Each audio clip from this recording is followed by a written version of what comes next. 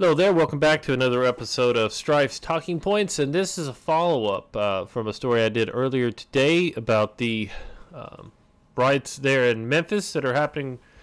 Uh, happened last night and what is actually going on. Uh, we'll start with the basic premise here. At least two dozen police officers and two journalists were injured in violent riots that broke out in Memphis overnight. The city's mayor said Thursday six officers were taken to hospital. Uh, skip down to the cause.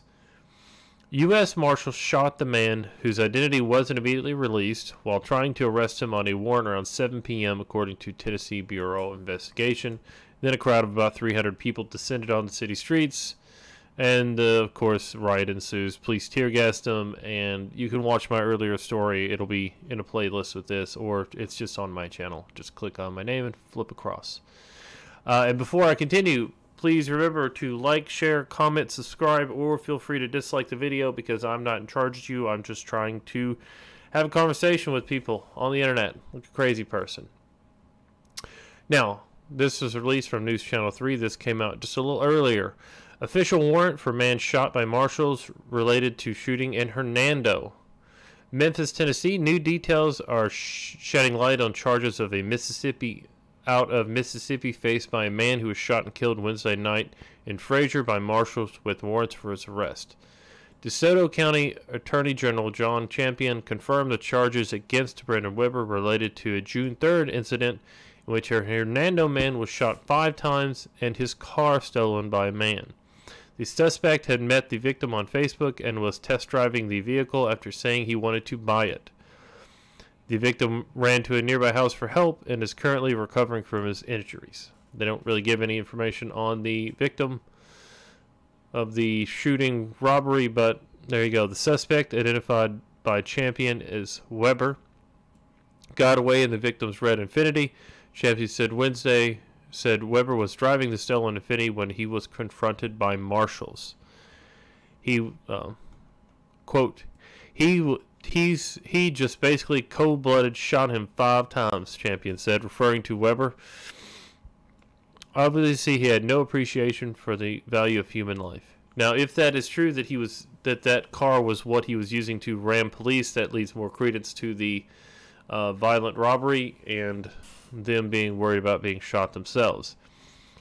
He said Webber had set up a bogus facebook account and used a bogus phone number to set up and steal the car car sale deal on Facebook. Champion said that U.S. Marshals were called to pick up Webber in Memphis because Hernando authorities don't have jurisdiction here. Across state lines. Um, for those of you not familiar with the overall layout, um, this part of Memphis here is where he's talking about Frayser. It's right here. It's this northern part here. Actually, no, a little higher up here because I know it's not Woodstock. It's right there, Frayser. And you can see very easily that Hernando is there because when I, like I said, I'm I lived in Memphis for a little while. Lived out here on this edge of Shelby Farm Park, uh, right there towards Germantown and out towards Collierville, and worked in the Midtown area. This is a pretty quick drive. You can get from North Memphis south into any of these towns very easily. I mean, that's it's not far. I mean, you're talking 45 minute drive, maybe less.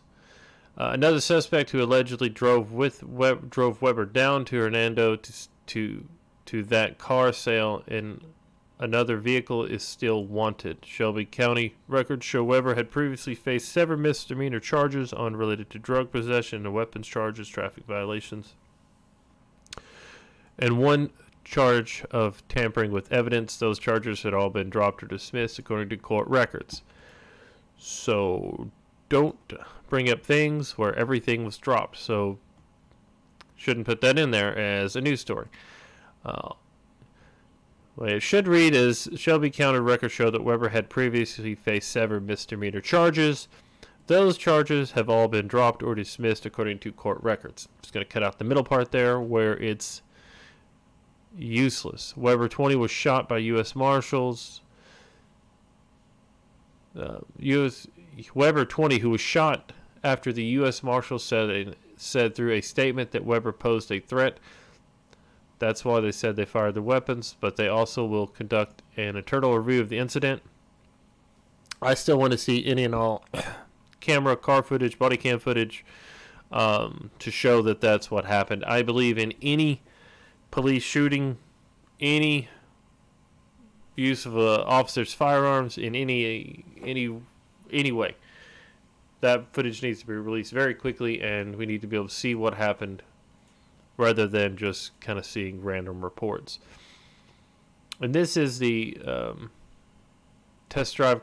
Test drive ends with car stolen. Owner shot Hernando. Posted 12:38 p.m. June 5th, and it was updated later that same day. Uh, police say a man was shot and his car was stolen by a would-be buyer he met on Facebook as they were on a test drive of Hernando.